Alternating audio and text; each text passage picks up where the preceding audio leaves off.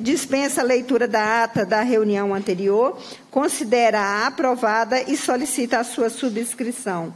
Esta reunião se destina a apreciar a matéria constante na pauta e a dispensa a leitura da ata da reunião anterior, considera-a aprovada e solicita a sua subscrição.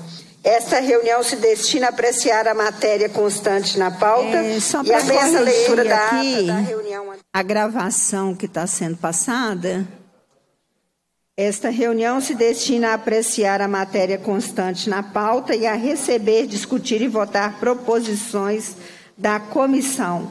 Passa-se a primeira fase da ordem do dia, que compreende a discussão e a votação de pareceres sobre po- proposições sujeitas à apreciação do plenário.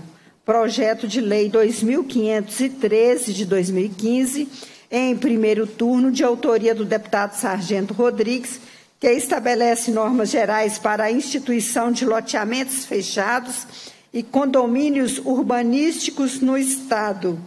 Indago ao relator, deputado Fernando Pacheco, se está em condições de emitir o seu parecer. É, deputado Fernando Pacheco, favor ativar o seu microfone. Boa tarde, presidenta Rosângela Reis, deputada estadual. Boa tarde a todos os funcionários e funcionárias. Eu estou apto a fazer a leitura do parecer, sim, presidente.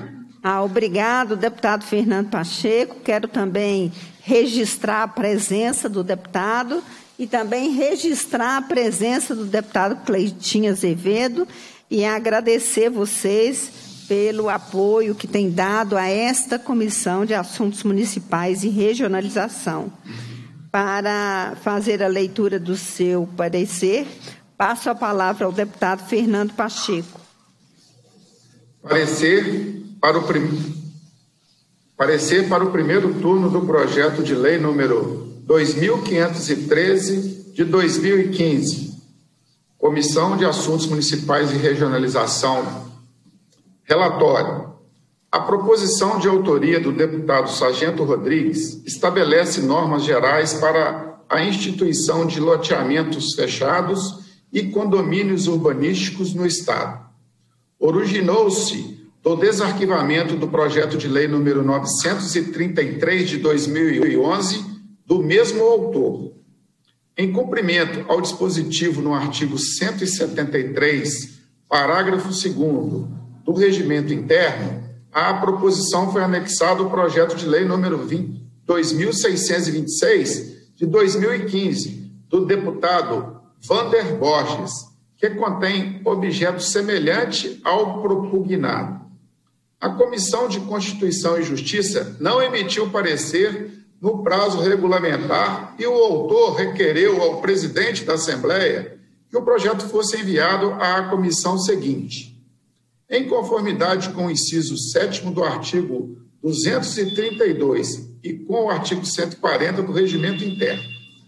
Remetida pelo presidente, a proposição vem então a esta comissão para receber parecer quanto ao mérito, conforme dispõe o artigo 188, combinado com o artigo 102, inciso 2, a linha D do mesmo regimento.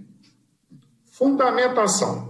O projeto de lei em análise pretende definir regras gerais para a instituição de loteamentos fechados e condomínios urbanísticos no Estado.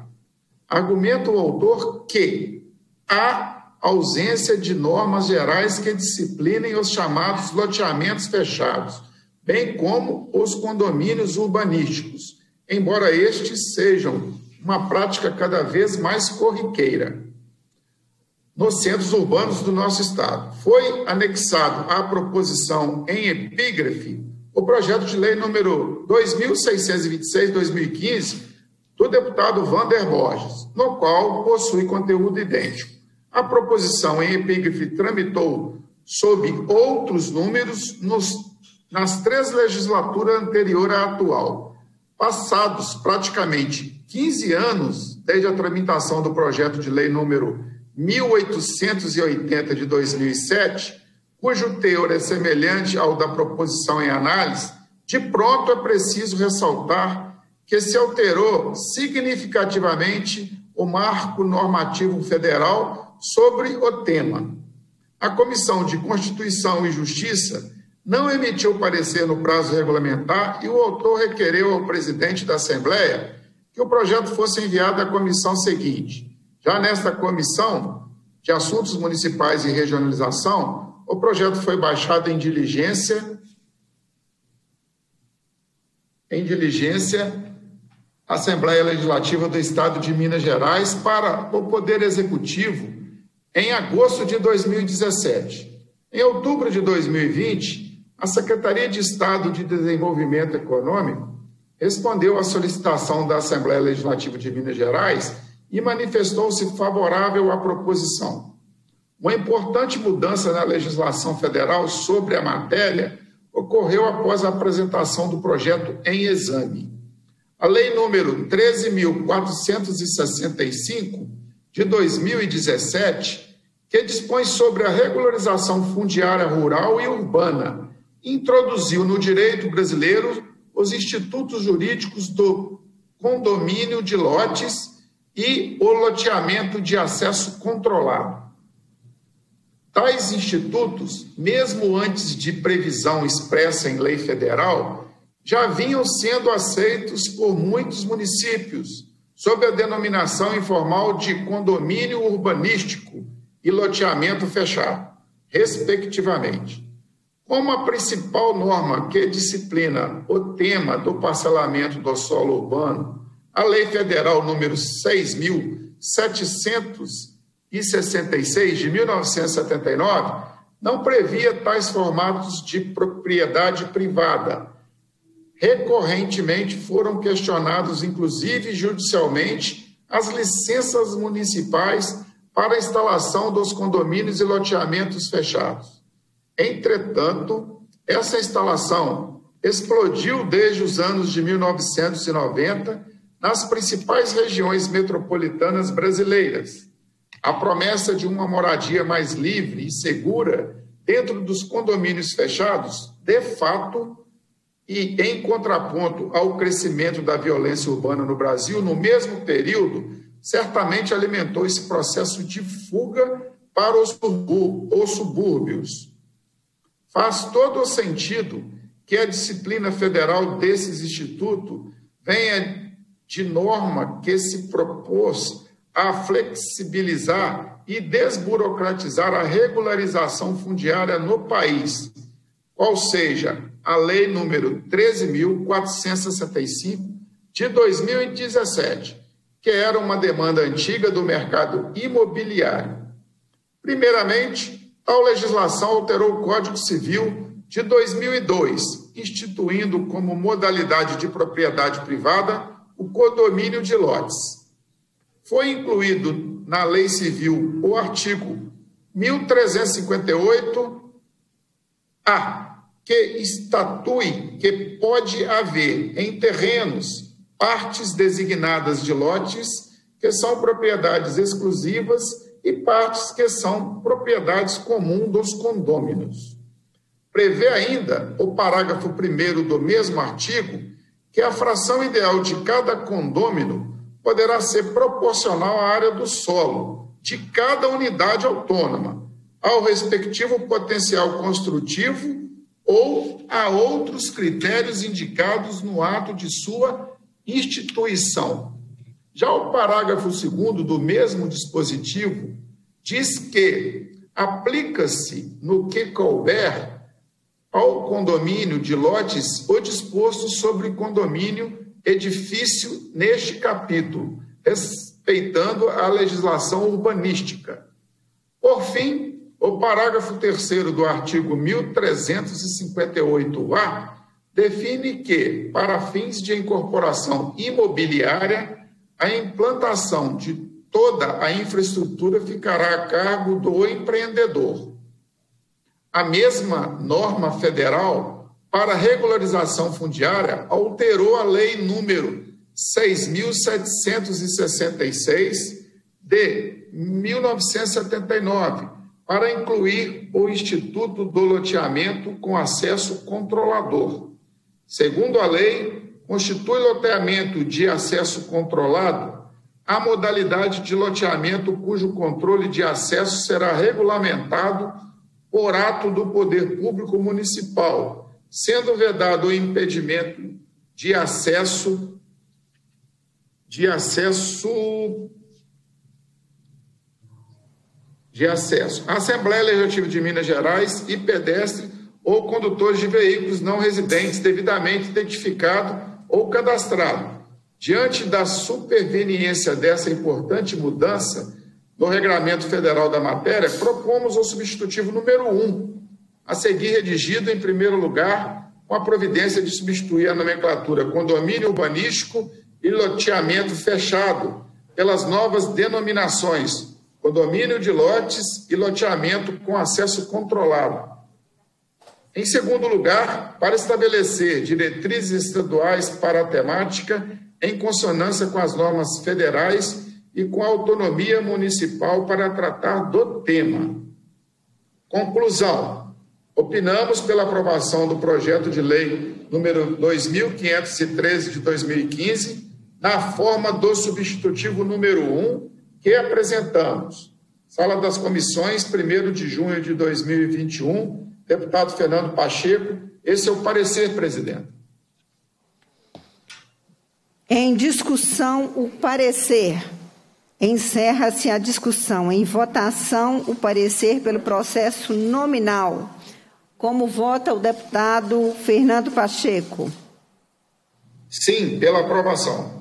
Como vota o deputado Cleitinho Azevedo? Sim, pela aprovação.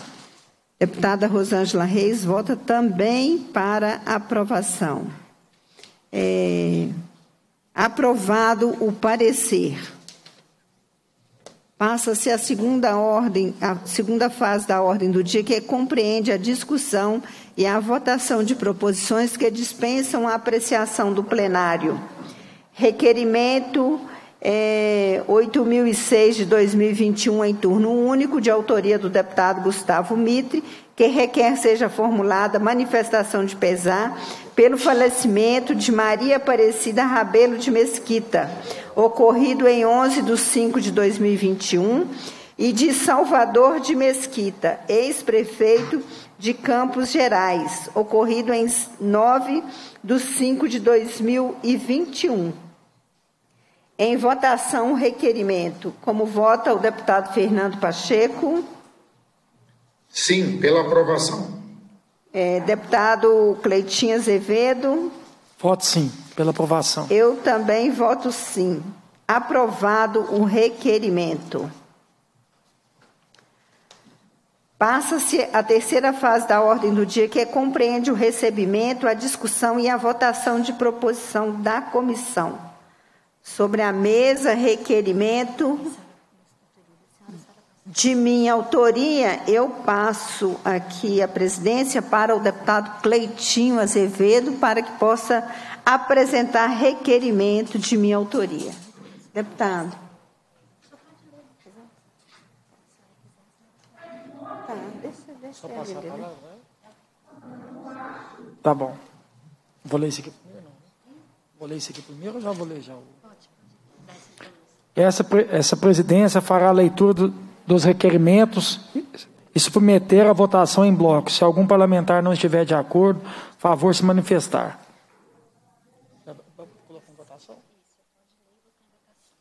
Qual que eu vou ler todo? Só esse aqui. A deputada que subscreve requer de Vossa Excelência, no termo do artigo 100 do Regimento Interno, seja realizada audiência pública para debater a execução das obras do Aeroporto Regional do Vale do Aço. A deputada que subscreve requer a Vossa Excelência, no termo do artigo 100 do Regimento Interno, seja realizada audiência pública para debater do Plano Diretor de Desenvolvimento Integrado da Região Metropolitana do Vale do Aço. A deputada que subscreve requer de Vossa Excelência, no termo do artigo 100 do Regimento Interno, seja realizada audiência pública para debater o projeto de lei 2538-2021, que dispõe sobre o programa de estímulo à implantação das tecnologias conectivas conectividade móvel no estado de Minas Gerais, para viabilizar a chegada da tecnologia de quinta geração. A deputada que subscreve requer de Vossa Excelência, no termos do artigo 100 do Regimento Interno, seja realizada audiência pública para debater a situação dos municípios mineiros que se encontram em débito com a Companhia Energética de Minas Gerais, CEMIG. Consequentemente, tiveram seus atendimentos, atendimentos suspensos, assim como os municípios que sofreram com constante quedas de energia. Em votação, os requerimentos da deputada Rosângela. Presidente, voto sim. Como voto o deputado Fernando Pacheco.